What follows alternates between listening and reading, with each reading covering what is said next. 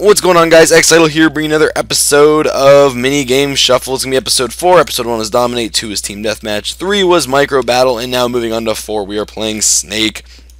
We've played Snake before, so this isn't really anything new. Uh, I remember that the Speedy Snake is much better than the Super Snake. With the Speedy Snake, you get the speed boost. Uh, with the Super Snake, you get invulnerability, which is dumb because sometimes it doesn't even work. So we're going with the Speedy Snake. I'm probably just gonna play this game until I get one win. Hopefully, it won't take like 30 games or something. But that's that's gonna be the goal. If I can get one win, that's when I'll end off this episode. Because kind of that's kind of like I don't know what I want. Uh, with like all the mini game things, I kind of want to win one. It might not happen every time, but you know, it would be nice if I could win a game every time I play it. all right. Uh oh. Uh oh. Uh oh.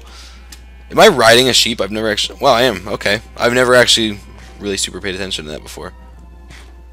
God dang it! Did I just run into my own snake? xXidol was killed by... No, I didn't. Whatever.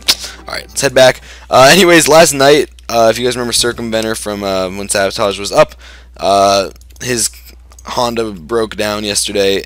It didn't break down. It The battery died, and we had to go and jump it, and it was extremely long process. He went inside to use the bathroom, and I stayed out in the car and was listening to music. I thought he had the engine running.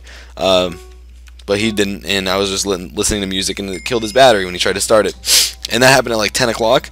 It took us till 12 o'clock before we finally started jumping it, because all of our friends were out doing other things, um, except for the people that were there, and it was bad. so we were out for a long time. I woke up crazy late today, went out for lunch, uh, but it was really funny. Eventually, a guy came, and then we drove. We literally drove to my car, which was probably two miles down the road. We could have walked there faster. Uh, we so we drove down to my car and then all four of us got in my car, and then we drove to my house, got my jumper cables, and then drove all the way back over to his car. Oh god, oh god, oh god. Uh, just to uh, stop running against the wall. Oh god, oh god, oh god, oh god, oh god, oh god, oh god. I was trying to hit that person.